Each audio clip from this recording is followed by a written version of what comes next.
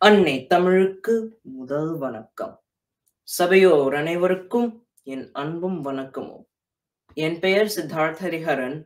நான் road Island Tamil பள்ளியில் ஏழாம் வகுப்பு படிக்கிறேன். இன்று உங்களிடையே தேமுதர தமிழோசை உலகமில்லாம் என்ற தலைப்பில் பேசப் போகிறேன். யாமறிந்த மொழிகளிலே தமிழ் மொழி போல் இனிதாவது எங்கும் காணோம். பாமரராய் விலங்குகளாய் உலகனைத்தும் இகற்றி சில பான்மிகிட்டு நாம் முத தமிழன கொண்டிங்கு வாழ்ந்திடல் நன்றோ சொல்லீர் தேமுதர தமிழோசை உலகமெல்லாம் பரவும் வகை செய்தல் வேண்டும் என்றான் பாரதி. ஏன் அப்படி சொன்னான்? தன் தாய்மொழி என்பதாலா? அல்லது தனக்கு தெரிந்த மொழி என்பதாலா? கிட்டத்தட்ட முப்பது மொழிகள் அறிந்தவன் ஏழு எட்டு மொழிகளில் கவிபடைக்கும் திறன் மிக்கவன். அதனால் தமிழின் சிறப்பறிந்தே இதைய கூறியிருக்கின்றான். உலக மொழிகளுக்கெல்லாம் தாய் நம் தமிழ் மொழி. பண்டைய மொழி பண்பட்ட மொழி.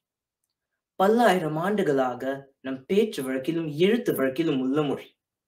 இரண்டாயிரம் ஆண்டுகளுக்கு முன்பே நன்கு வரையறுக்கப்பட்ட இலக்கணமுடைய மொழி. தொல்காப்பியமே இதற்கு சான்று. இப்போ தமிழின் புதையல்கள் சிலவற்றை கூறுகிறேன். கேளுங்கள். தொல்காப்பியம் நன்னூல் போன்ற இலக்கண நூல்கள் உண்டு.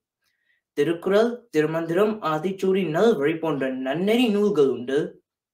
காவியத்தின் உச்சமான சிலப்பதிகாரம் மணிமேகலை வலையாபதி குண்டலகேசி மற்றும் சீவக சிந்தாமணி ஆகிய ஐம்பெரும் காப்பியங்கள் உண்டு. எல்லையின்மை காட்டிட முயலும் கம்பராமாயணம் உண்டு. திருவாசகம் ஆழ்வார் பாசுரம் கந்த புராணம் போன்ற பக்தி நூல்கள் உண்டு. இன்னும் பல பல. தமிழின் பெருமையை காட்ட திருக்குறள் ஒன்றே போதும். அழுக்காறு அவாவிகுலி இந்நாற்றல் நான்கும் இழுக்கா என்றது அறம் என்று அறம் பற்றியும் தொட்டனை தூறும் மணற்கேணி மாதற்கு கட்டணை தூறும் அறிவு என்று கல்வி பற்றியும் ஆற்றுவா அறற்றல் பசியாற்றல் அப்பசே மாற்றுவா அறற்றலின் பின் என்று ஈகை பற்றியும் உடுக்க இழந்தவன் கைப்போல ஆங்கே இடுக்கன் கலைவுதாம் நட்பு என்று நட்பு பற்றியும் இன்னும் பல நீதிகள் உள்ள திருக்குறள் அனைவருக்குமே பொது. அல்லவா? மருந்து என்னும் அதிகாரத்தில் உள்ள கருத்துக்களை நவீன மருத்துவம் இப்பொழுதுதான் கண்டு கொண்டிருக்கிறது. அதுபோல திருமந்திரத்திலும் சித்தர் பாடல்களிலும் மருத்துவம் பற்றிய பல செய்திகள் இன்னும் மறைந்தே உள்ளது என்று கூறுகிறார்கள்.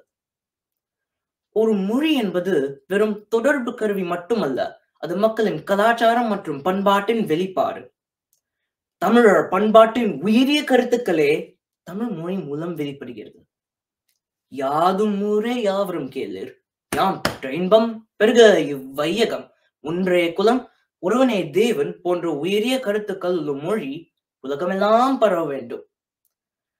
அறிவென்னும் ஒளிபரப்பி அறியாமை என்னும் இருளகற்றும் தமிழை உங்களிடையே வந்து உயர்ந்தோர் துறவிலங்கி ஏங்குல் நீர் ஞாலத்து இருளகற்றும் அங்கவற்றுள் மின்னேழ் தனியாழி வெங்கதிரோன் ஒன்று. ஏனையது தன்னேரில்லாத தமிழ் என்கிறது தண்டி அலங்காரம்.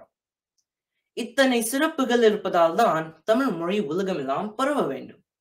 சரி பாரதியின் பாடலில் ஆரம்பித்த என் உரையை அதே பாடலின் வரியை கொண்டு முடிக்கிறேன். மறைவாக நமக்குள்ளே பழங்கதைகள் சொல்வதில் ஒரு மகிமை இல்லை. திறமான புலமையனில் வெளிநாட்டார் அதை வணக்கம் செய்தல் வேண்டும். அதற்கு தேமுதுர தமிழோசை உலகமெல்லாம் பரவ வேண்டும். நன்றி வணக்கம்.